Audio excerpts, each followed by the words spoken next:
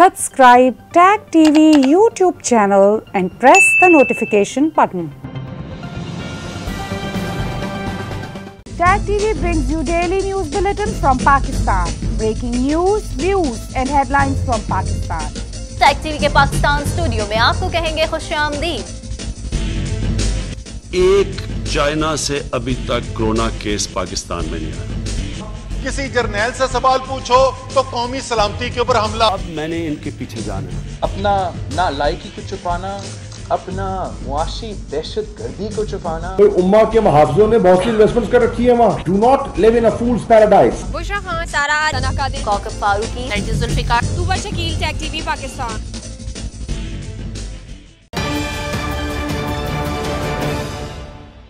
अस्सलाम वालेकुम नाजरीन टैग टीवी के पाकिस्तान स्टूडियो से मैं हूँ किरण जावेद। सबसे पहले शामिल करेंगे न्यूज़ हेडलाइंस। सिंध असम्बली के रिकॉर्ड रूम में आग लगी है या लगाई गई है? खुरम शेर जमान का कहना है कि आग से 10 साल का रिकॉर्ड जल गया, जिसकी तहकीक होगी। नकीबुल्ला कत्ल केस में अहम पेशरफ शहजादा जहांगीर और आसिफ ने अहम इंकशाफात में कहा कि मर्ज़ी का बयान देने के लिए प्रेशर दिया गया था। इस्लामाबाद की मुकामी अदालत में पीपी रहनुमा रहमान मलिक की सिंथिया रिची के केस की समात अदालत ने कजफ ऑर्डिनेंस केस में सिंथिया रिची को तीस हज़ार रुपए की जमानती मचल के जमा कराने की हिदायत कर दी। मारूफ समाजी इदारे की बानी sister Ruth Lewis corona virus से कराची में इंतकाल कर गईं। वज़ीर अला सिंध और दिगर शख्सियात की जानब से अफसोस का इजहार किया गया। पाकिस्तान में कोरोना के तस्दीक शुदा केसेस की तादाद दो लाख छियासठ हज़ार छियानवे तक जा पहुँची। कोरोना से मजीद चालीस अफराद जाँ बहक अमवात की तादाद पाँच हज़ार छः सौ उनतालीस हो गई। खुर्रम शेर जमान ने मीडिया से गुफ्तु के दौरान कहा कि कल सिंध असम्बली के रिकॉर्ड रूम में लगने वाली आग से 10 साल का रिकॉर्ड जल गया, जिसकी तहकीकात होगी। मजीद जानते हैं इस रिपोर्ट में।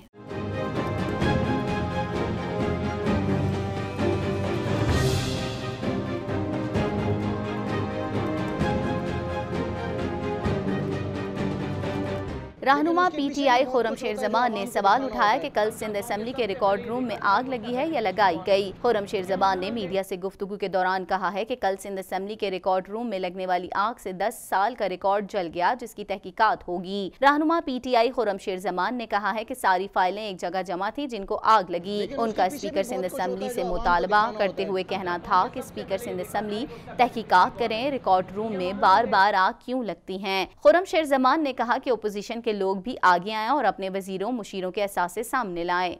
यहाँ पर जो रिकॉर्ड रूम है उसके अंदर मालूम चला है कि आग लग गई है। आग लग गई है आग लगा दी गई है वो तो अल्लाह बेहतर जाने ये इन्वेस्टिगेशन होगी तो पता चलेगा। आ, मुझे इस बात के खदशा आते हैं कि यहाँ पर कौन कौन से रिकॉर्ड चलाए गए हैं? आ, क्या खाली बिज़नेस के रिकॉर्ड जले हैं? या असेंबली की जो नई बिल्डिंग बनी थी उसके रिकॉर्ड जल गए हैं? या इसके अलावा जो एमपीएस के लिए एक आलीशान महल बन रहा है कहीं उसके रिकॉर्ड जल गए? तो ये हम इन्वेस्टिगेट करना चाहते हैं। नुकसान पहुँचाया है उनको सजाएँ भी ज़रूर दिलवाएँगे। शुक्रिया। शहजादा जहांगीर ने कहा है कि इससे कबल भी मैं ये बयान रिकॉर्ड करवा चुका हूँ। आबिद कायम खानी ने मुझे अपनी मर्ज़ी का बयान देने के लिए प्रेशर दिया और मेरे इनकार पर मुझे गैर कानूनी हिरासत में रखा। मजीद अहवाल जानते हैं इस रिपोर्ट में।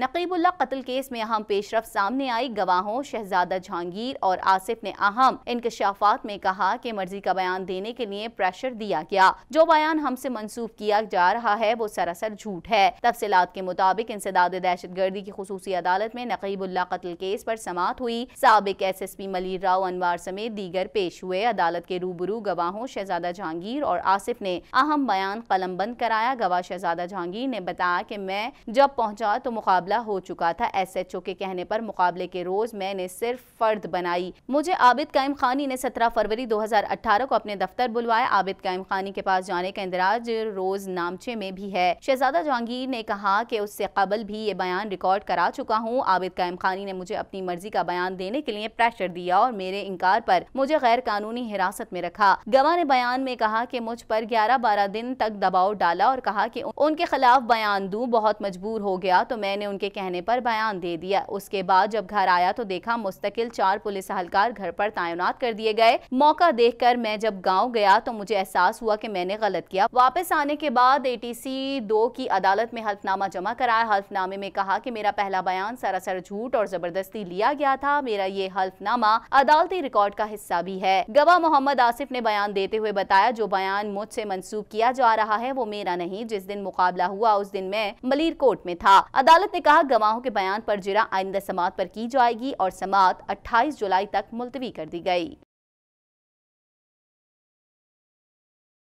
इस्लामाबाद की मुकामी अदालत में पीपी रहनुमा रहमान मलिक के संतिया रिच्ची के खिलाफ कजफ ऑर्डिनेंस पर समात हुई। संतिया रिच्ची को तीस हज़ार रुपए के जमानती मचल के जमा कराने की हिदायत दी गई। मजीद जानते हैं इस रिपोर्ट में।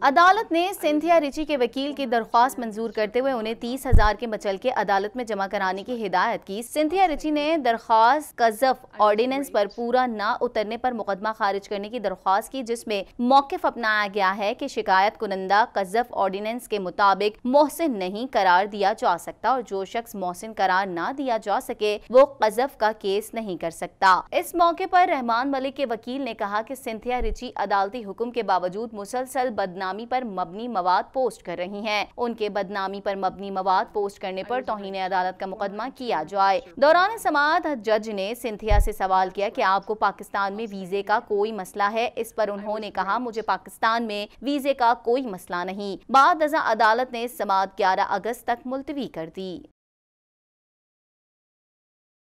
वज़ीर अला सिंध मुराद अली शाह ने सिस्टर रूथ लेविस के इंतकाल पर गहरे दुख का इजहार किया। उन्होंने मरहुमा की फैमिली और दारुसकून के स्टाफ से ताज़ियत की। मजीद अहवाल जानते हैं इस रिपोर्ट में।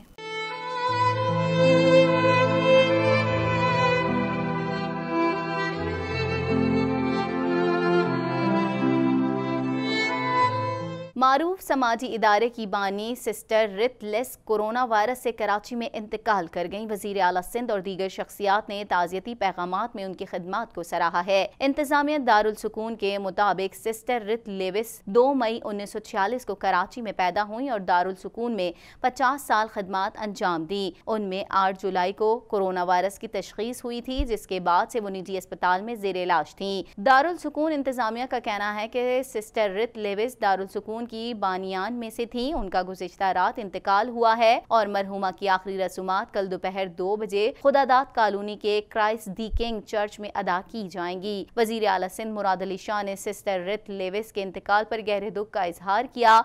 उन्होंने मरहुमा की फैमिली और दारुलसकून के स्टाफ से ताजियत की। उनका कहना था कि सिस्टर रित लेविस की खदमात खसूसी बच्चों की तरबियत और परवरिश के लिए नाकाबिल फरामोश हैं। मुशीर कानून मुर्तज़ा वहाब ने कहा कि सोसाइटी उनकी खदमात को हमेशा याद रखेगी। की सिस्टर रित लिबिस की माजूर बच्चों के लिए खदमात नाकबले फरामोश हैं। इंतजामिया दारुलसकून ने इंकशाफ किया कि दारुलसकून में इक्कीस बच्चे भी कोरोना से मुतासर हैं। सिस्टर रित लिबिस उन बच्चों की देखभाल के दौरान कोरोना से मुतासर हुई। कोरोना से मुतासर तमाम बच्चों को करंतना कर दिया गया है।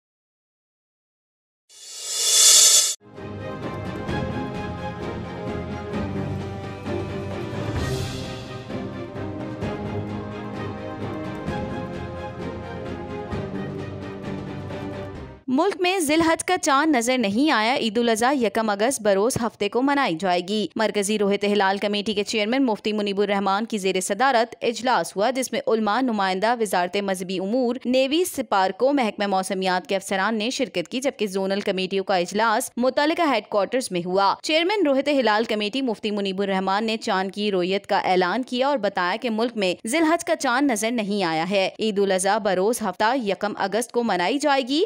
पाकिस्तान में बेशतर मकाम पर मतला बरालूद था या गुबार आलूद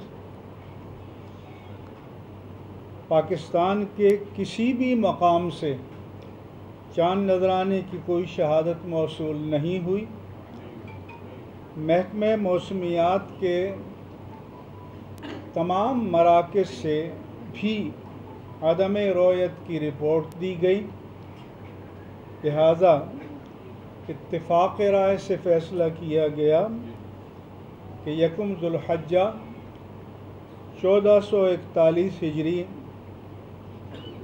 जमेरात तेईस जुलाई को होगी और ईद उजी इन शाह हफ़्ता यकुम अगस्त को होगी। वाजे रहे कि इससे कबल वज़ीर science and technology Fawad Chaudhry का कहना था कि जिलहज के चाँद की पैदाइश कल रात हो चुकी है। ईद उल इकतीस जुलाई को मनाई जाएगी।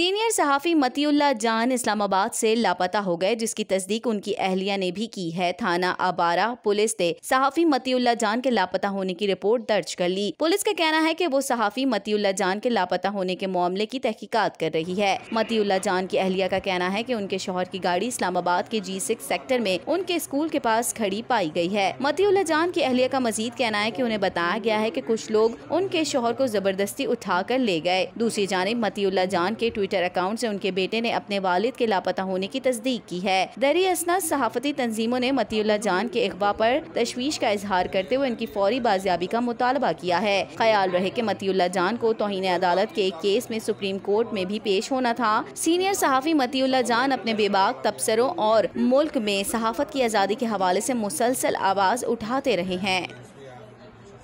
मजीद खबरें भी बुलेटिन का हिस्सा होंगी। यहाँ लेते हैं एक ब्रेक।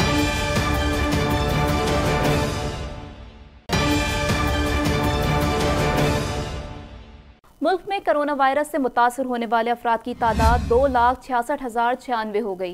मौलिक वायरस मजीद चालीस जिंदगियाँ निकल गया, जिसके बाद अमवात की तादाद पाँच हज़ार छः सौ उनतालीस हो गई। मजीद जानते हैं इस रिपोर्ट में। पाकिस्तान में कोरोना से एक दिन में 40 अफराद जहाँ बहक हो गए जिसके बाद वायरस से मरने वालों की तादाद 5,625 हो गई। पंजाब में दो हज़ार नब्बे सिंध में दो हज़ार उन्नीस खैबर पख्तूनख्वा में एक हज़ार एक सौ सैंतालीस इस्लामाबाद में एक सौ साठ बलूचिस्तान में एक सौ तैंतीस गिलगित बल्तिस्तान में तैंतालीस और आज़ाद कश्मीर में सैंतालीस मरीज़ जान से हाथ धो बैठे मुल्क भर में अब तक सत्रह लाख अट्ठावन हज़ार पाँच सौ इक्यावन अफराद के टेस्ट किए गए। गुजशत चौबीस घंटों के दौरान सत्रह हज़ार सात सौ तिरासी नए टेस्ट किए गए। अब तक दो लाख आठ हज़ार तीस मरीज़ सेहतियाब हो चुके हैं, जबकि एक हज़ार चार सौ इक्यासी मरीजों की हालत तशवीशनाक है। Subscribe tag TV YouTube channel and press the notification button